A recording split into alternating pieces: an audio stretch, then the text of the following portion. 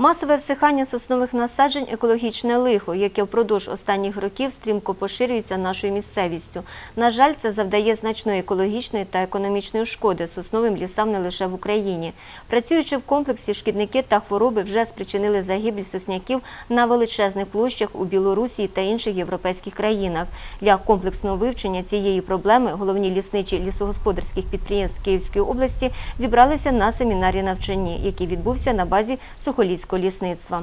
Учасниками заходу були представники Київського обласного та по місту Києву управління лісового та мисливського господарства, Державного спеціалізованого лісозахисного підприємства «Київлісозахист», Державна лісова охорона Державного підприємства Білоцерківський лісгосп, наукові співробітники, представники органів місцевого самоврядування та засобів масової інформації. Усіх присутніх привітали перший заступник начальника Київського обласного та по місту Києву управління лісового та мисливського господарства Руслан Гузенко та директор державного підприємства Білоцерківське лісове господарство Анатолій Вітряк, котрі підкреслили важливість проведення цього семінару. Ось ми зараз знаходимося в Соколівському лісництві. Тут е, е, дачі від Білої церкви, дачні кооперативи, бази відпочинку на річці Рось. Навколо Білої церкви це теж там рекреаційна нагрузка дуже велика. Далі в Білоцерківському лісництві у нас дружки, це притоки річки Рось. От, так що така ситуація, і ми хотіли б сьогодні провести цей семінар, щоб е, разом спільно якось е, вирішити і е, бачити перспективи, як спасати ці соснові насадження.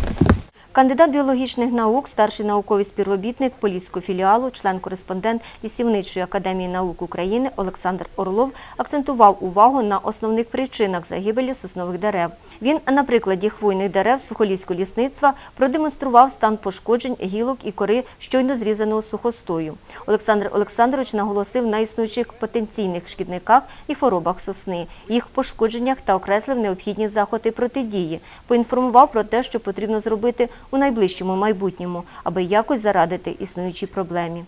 Саме верхівковий караїд іпсакумінатус є переносником дуже гадосної, е, гадосного захворювання в лісовому господарстві. Це трахеомікоз хвойних. З гордістю можу сказати, що я його вперше знайшов і визначив для України. Було це далеких сім років тому. Посиніння деревини, якщо ви поскладаєте дошки без е, поперечин на складі нижньому, то у вас через місяць деревина буде синя.